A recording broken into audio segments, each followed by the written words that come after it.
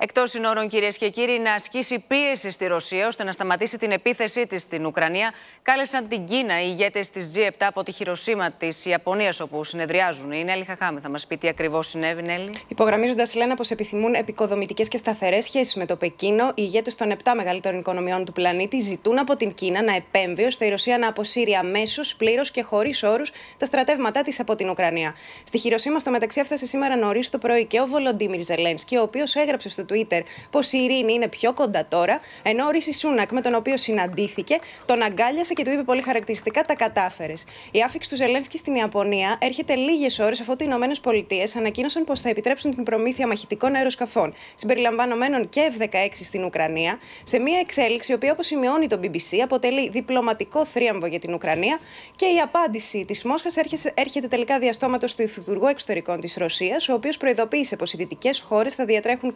κολοσιαίο κίνδυνο εάν τελικά προμηθεύσουν το Κίεβο με F-16. Σε ευχαριστούμε πολύ, Νέλη Χαχάμη.